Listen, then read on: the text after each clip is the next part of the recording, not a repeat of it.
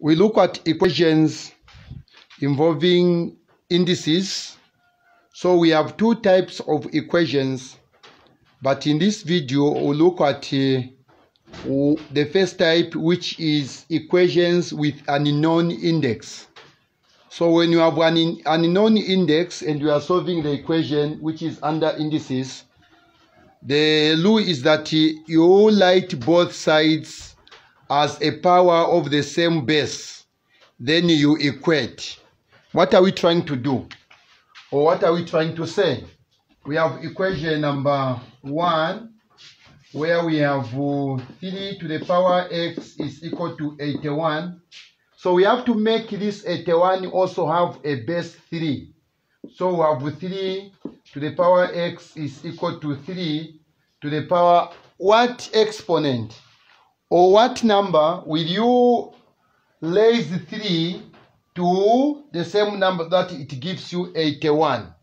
So if you are to do the mathematics find that 3 to the power 4 it is 3 times 3 times 3 times 3 and the answer is 81 so we have 81 now that the base are the same now you equate. When you equate you cancel the common base because this one is common is the same as what we have at the other side of the equal sign so if we have these two are identical you equate them or you cancel them.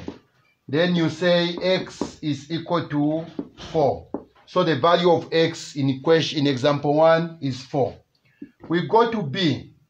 To b we have 2 to the power x plus 1 is equal to 64 so we have 2 x plus 1 is equal to we also change this 64 to have a base 2 so we have 2 to the power 6 because 2 to the power 6 is 64 because 2 times 2 times 2 times 2 times 2 times 2 it gives us 64 so now that the base are the same we again equate we also equate the the the index so we have now x is equal to 6 minus 1 and x is equal to 5.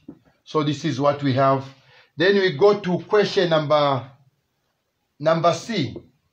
Question number C is 9 to the power x which is equal to 27.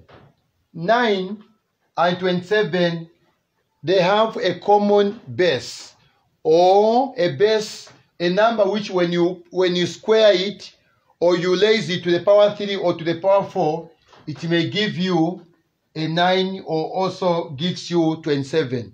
Because if I was to write 9 this side and also 9 this side, 9 to the power 2 or 9 to the power 3 or 9 to the power 4, it won't give me 27. It will give me more than 27. Therefore, we have to convert this 9 and also 27 to a common base. What is the common base of 27 and also 20, uh, and also 9?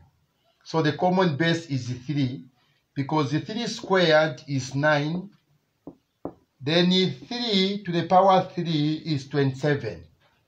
Then we learned something under the laws of indices that when you have the exponent or the index and another index, you multiply the two. So in this case, we are going to have 3 to the power 2 multiplied by x which gives us 2x is equal to 3 to the power 3.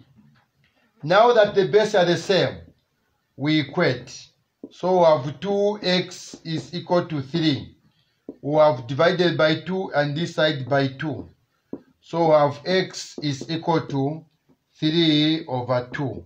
So this marks the end of the examples which we have and now let's now look at the sample exam questions that comes in line with this first uh, the first type of equations when we are solving indices.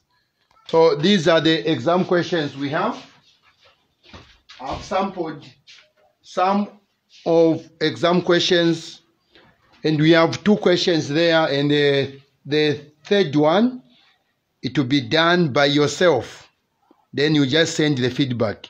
The first question says, given that uh, the root of 2 is equal to 2 to the power x, find the value of x. So,